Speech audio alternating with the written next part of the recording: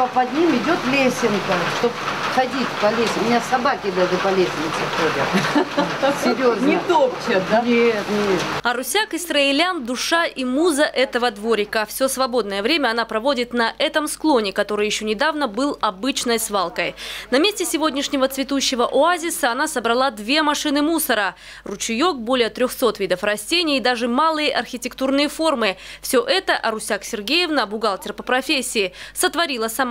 Видя результаты ее стараний к благоустройству придомовой территории, присоединяются и соседи. А сегодня ее примеру последовали и жители близлежащих домов. У меня по понедельникам акция бесплатная раздача растений, которые я уже сама размножаю. Если у меня две штуки есть, одну я могу отдать. Девятый дом все очистили, наконец-то.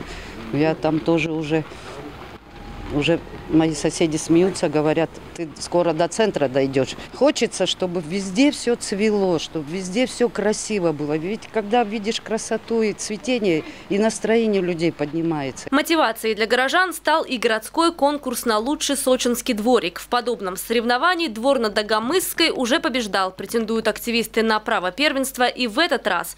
Но чтобы не повторяться, готовят для жюри новые сюрпризы. К примеру, этот шар Русяк Исраилян соорудила вместе с местными ребятами. В результате должен получиться вращающийся и светящийся глобус. А еще в планах строительство беседки и самого настоящего пруда с рыбами. Чем дальше, тем больше хочется делать, творить, видеть результат, предоставлять радость людям, которые проходят специально по этой лестнице. Даже говорят спасибо. Желанием украсить не только улицы, но и в целом за вокзальный микрорайон загорелась вся местная общественность. Совсем скоро, обещают активисты, в этом спальном районе появится новая цветущая площадка. Большая, хорошая, знаковая такая, на весь район, видная.